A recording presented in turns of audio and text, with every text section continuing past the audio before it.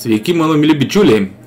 Ką reikėtų pašnekėti toliau apie vadinamosius geležinkelių karus, kurie čia jau tęsiasi jau kurį laiko tarpo. E, tai, kad e, vyko procesas sustabdyti per Lietuvą keliaujančias Belarus kaliai trašas, tai aš jau kalbėjau anksčiau, jis tas ir pavyko, valdžiukė nusprendė sustabdyti tą e, tranzitą per Lietuvą, kuris šiaip neša tiek Lietuvos geležinkeliams, tiek ir uostui labai didelės pinigų sumas, nu ir tu pačiu aišku į mūsų biudžetą. Bet dėja tai neaktualu šiuo metu Lietuva yra.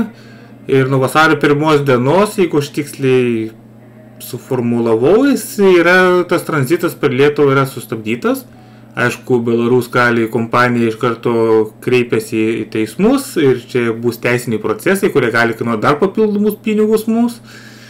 Bet kaip sakoma, vertybės yra vertybės ir niekas pinigų neskaičiuoja, kai kalba išeina apie vertybės. Čia aišku, toks ironiškas, ironiška tokia pastaba.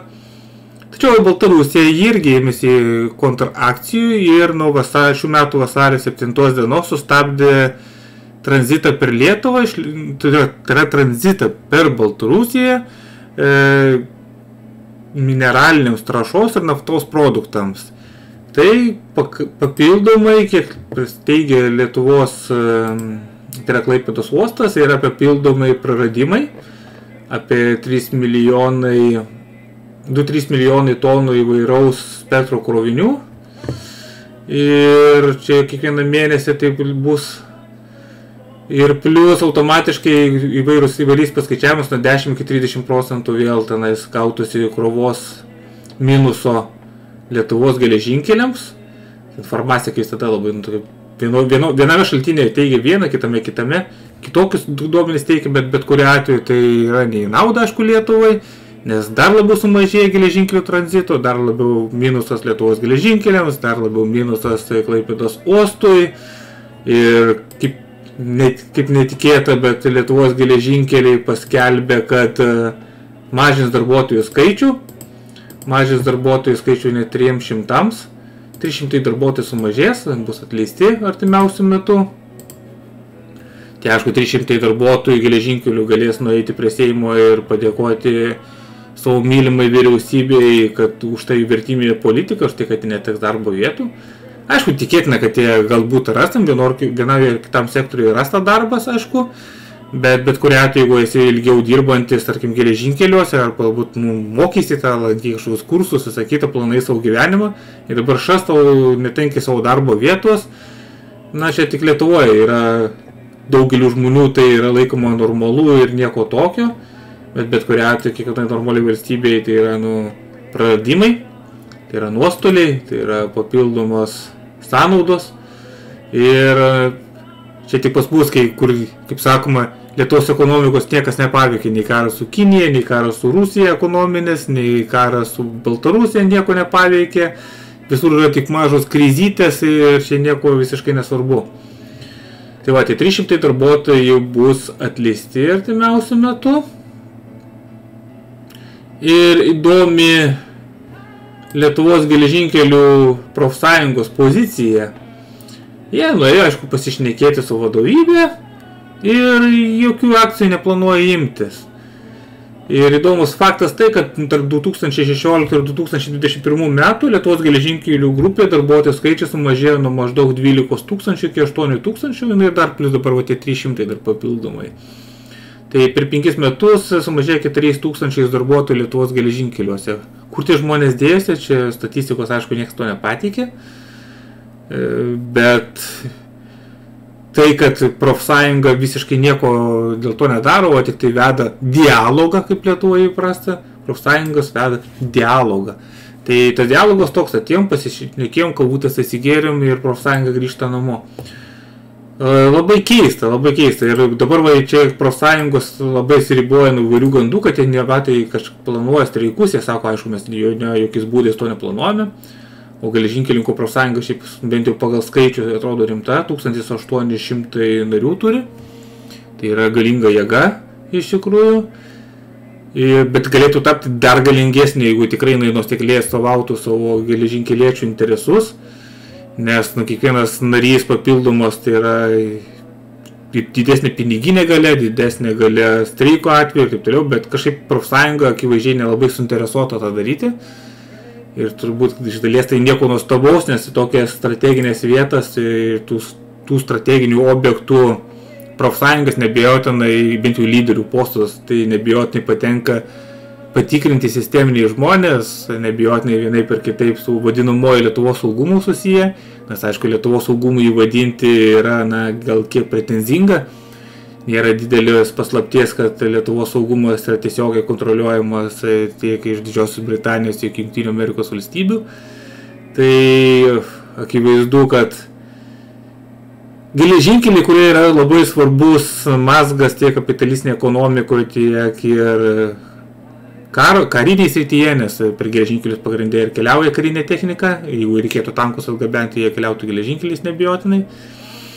Tai ten tokiuose profsąjungos ir apskritai vadovybėje nebijotinai sėdi tinkamai ir tinkamai parinkti kadrai, kurie užtikrins, kad šitos e, įmonės tikrai nesukels jokių protestų, reikalaus kažkokių reikalavimų, kurie nederami atrodytų šalį valdantiems e, pareigūnams. Tai va, tai nors į geležinkelį spaudžiame kaip reikiant, tai ten ir nors ir atskiri buvo pasisakymai ten tų vadinamės vadovybių, nu, toks, nu, kaip ir, ai, nu, kaip ir negerai, kad čia viskas taip vyksta, bet, bet jokių rimtesnių žingsnių nesimato. Dėja, šita vieta labai užvaldyta, tiek profsąjunga, tiek iš įmonių pusės. O tas faktas, kad faktas, kad kuo toliau, tuo labiau velsimės į tos e, geležinkelių karus ir tai akivaizdu panašu man, kad tai nėra pabaiga, tai tik tai kelio pradžia. Greičiausiai bus perėta prie to, kad visiškai Baltarusija toks bal, baltas plėmo žemėlapyje ir visas tranzitas perkeliaus nu, per Lenkiją. Lenkija tai aišku gerai, bet vėl Lietuvai negerai, nes nepamirškim, kad iš Lietuvos per Lenkiją į kokią Ukrainą pervežti, pažiūrėjau, geležinkelio krovinius, tai nėra taip paprasta.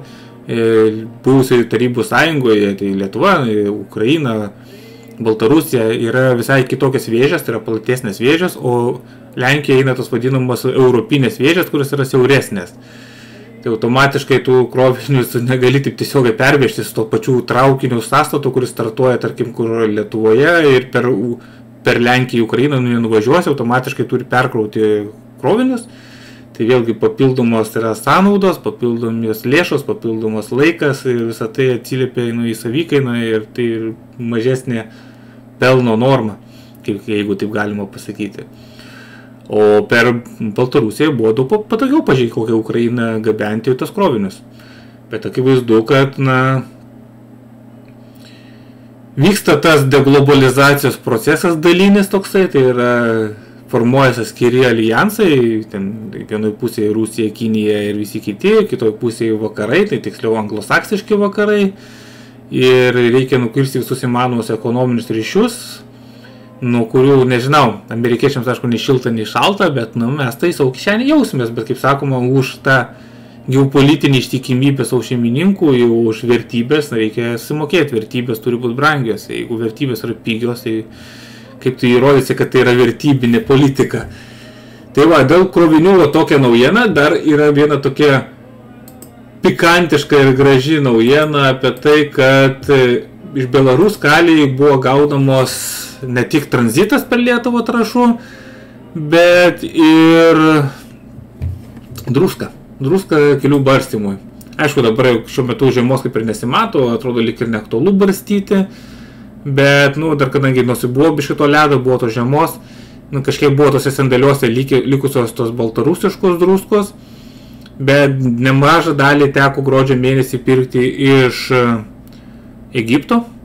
Ta kaina, aišku, įvairi, nesviruojanti, bet jinai nuo 30-50 procentų iki du kartus didesnės kainos teko mokėti ir sklando tos gandas, kurį, aišku, negaliu patikrinti, Bet, nu, aš esi tikras ar netikras, bet kad ta druska iš Afrikos gamenama, jinai visiškai netinka Lietuvos sąlygomis, jinai neefektyvi yra, neskaitant to, kad jinai yra daug brangesnė negu baltarusiška, kurią mes čia gaudom. Tai atrodo, va, tokie dalykai irgi kaip ir šalutiniai, bet jie viskas susideda, nes kadangi mes su, tokiu, su, su kaimynais visi bet kuriu atveju turime begalį vairiausių ekonominių santykių ir į vieną vietą užžišų susiraša dar kokias penkios rytis ir visą tai kainuoja, tai papildomus pinigus, tai yra papildomus vargas ir taip toliau ir taip toliau.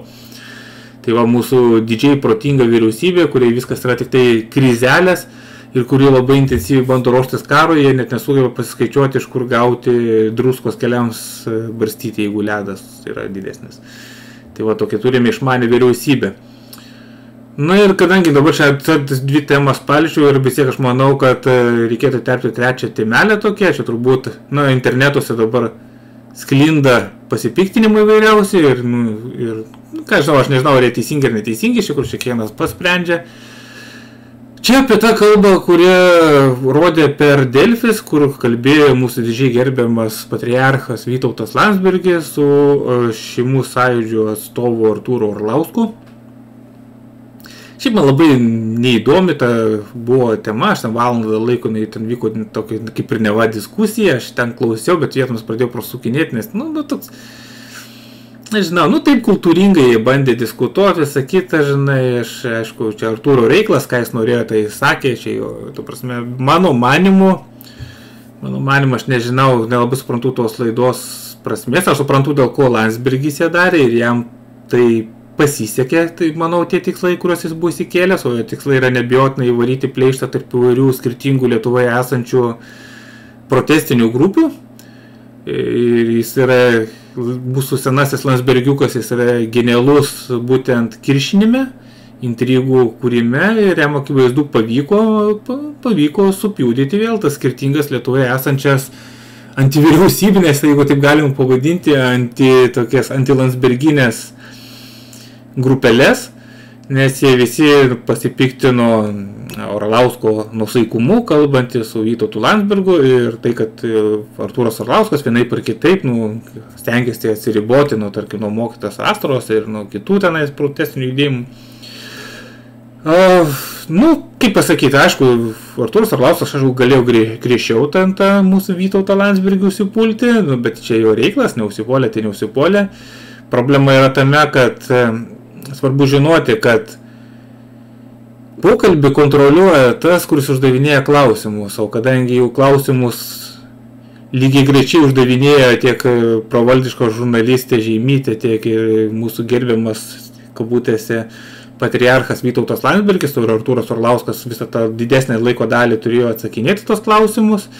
Tai yra, reiškia, pokalbį kontroliavo priešišką pusę ir Artūras Orlauskas buvo kryptingai kreipiamas link tos temos, kad jis ir vienaip ir kitaip e, atsiribotų nuo visų kitų protestinių grupių ir liktų tik tai prie šeimų sąjūdžio. E, tai aš nesakau, kad Artūras Salauskas čia ką nors sakė blo, iš esmės blogai, nu jis tiesiog kaip jie sakė, kaip pasakė, čia Bet problema ta, kad daugumas žmonių visą tą, ką jo tekstą, kai jis pasakė, suprato kaip e, atsiribojimą, kaip pateikavimo Vytautui Landsbergiai. Ir tai dėja, dėja, ne į gerą išėjo ir aš manau, kad geriau būtų buvę, kad tos laidos nebūtų buvę. Nes jinai įnešė daugiau sumaišties ir jinai pasitarnavo šio blogio genijaus patriarcho naudai. Ir kadangi pas mus Lietuvoje žmonės, jie tokie Kaip čia jums dabar korektiškiau pasakius, mūsų visai vadinamoji pozicija niekaip neišauga iš tų vaikiškų pampersų ir jie labai visi tokie emocionalūs, įžeidus ir jie labai greit susinervina ir greitai draskosi ir jie greit viens kitą puola demaskuoti viešai. E, nežinau, ką jie to bando pasiekti, ta prasme, bet iš to nieko gero nesigauna. Kas iš to, kad tu viens kitą įvardinsi kažkokiais agentais ar dar kažko, ką tai, ką tai duos? Tai prasme, nu, kas iš to? Prasme, kad tu ten tipo kažką pakeisi, kažkam kažką įrodysi, ta prasme, nu taip, kažkas internetuose palaikys tave, kažkas palaikys priešingą pusę, bet galutinį variantą viskas tiesiog bus toks begalinis ir zelynas ir jokios naudos iš to, žinai, nu, jokio politinio rezultato iš to nebus padaryta. Tai mane tai va iš tikrųjų žiauriai erzina, aš ten vakar su mokytė Astra Facebook'ose ginčijausi, nu, jinai emocionalus žmogus, jinai ten mane ant manęs supyko nesuprato, ką aš norėjau pasakyti jai, nu bet tiek to, čia jos yra reikalas. Bet kuriuo atveju, bet kuriuo atveju vis dėlto mes dar esame iš tikrųjų dar tokie vaikiški ir tie patyrę intrigų meistrai vis dėlto suvinioja daugumą tų mūsų mielų nuoširdžių, bet e, teoriškai silpnų protestuojančių grupių. Jas vis dėlto sėkmingai skaldo ir valdo, nes konservatorių valdymo esmė yra ta, kad jie suskaldo visus potencialius savo priešininkus, jie tarpusai niovės, niekaip nesugeba įgyti reikiamos kritinės masės, o konservams užtenka tiek to palaikymo, kiek jie gauna, kiek jie turi, ten tų stabiliai tų 20 procentų Lietuvos populiacijos jiems ir užtenka įgyti pakankamos galios tiek per rinkimus, tiek apskritai. O visi kiti mušasi, mušasi, mušasi, ten veršlena, ten protestuoja savo negausiais mitingėliais ir niekaip nepakeičia patyties Lietuvoje. Puikiai, puikus pavyzdys, kaip galima konservatorius stipriai iššūkyti, tai yra Kaune Matija Šaičio sugebėjimas e, neutralizuoti visus kitus politinius judėjimus ir gavus tik taip, kad e, Matija Šaitis jau antrą kadenciją jau baiginėjasi jis dominuoja Kauno savivaldybė konservatorių opozicijoje. Nors konservatoriai per šią 19 metų rinkimus gavo daugiau balsų negu 2015 metais, jeigu gerai atsimenu, bet kadangi Batijošaitis susarbė visus kitus potencialius e, konservatorių priešininkus, tai konservams neužteko net ir to santykinio balsų padidėjimo, kad jie turėtų kažkokį svarų balsą Kauno miesto taryboje. Va, kai reiškia, kai dirba žmogus, kuris žino, kaip reikia dirbti, va, ką reiškia, kai dirba visokie emocijų apnikti politiniai mėgėjai, kaip dėja yra pas mus, yra įvairios tos protestinės, nepatenkintos grupės. Tai mano tikslas iš tikrųjų mažiau veltis į tas emocijas, mažiau šokinėti pagal kažkokių profesorių nuleistas intrigėlės, nes tai nieko nekuria, nieko nepadeda ir geriau tą laiką skirkime vietoj to, kad ten kokiam, tokiam mes valdome emocijų ir vertinkime vienas kitą, kuris geras, kuris negeras, geriau kokią knygelę paskaitykime, gyvai susitikime, kavos arbatos išgerkime ir iš dušės gyvai pasišnekėkime. Nes socialiniai tinklai jie yra gerai, kai yra keistis informacija, ten kažkokias kovoti info karus, bet tuo, tuo pačiu turi neigiamą tą savybę, kad nu, kiekvienas nusišnekėjimas viešai yra matomas ir dažnai neša tą destruktyvų destruktyvų tokį efektą ir dėl to nieko iš to gero mums nesigauna. Tai va, šiandien tokį chaotišką galbūt vaizdo įrašą padariau, bet apripiau kelias artimiausias, nu, tokias šią savaitės tokias temelės, kurias, nu, šiuo metu man buvo aktualios.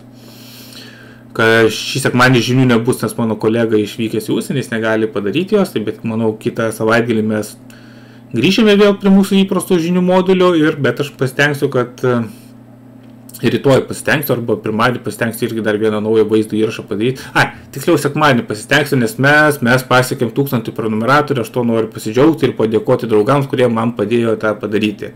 Ačiū visiems tikrai.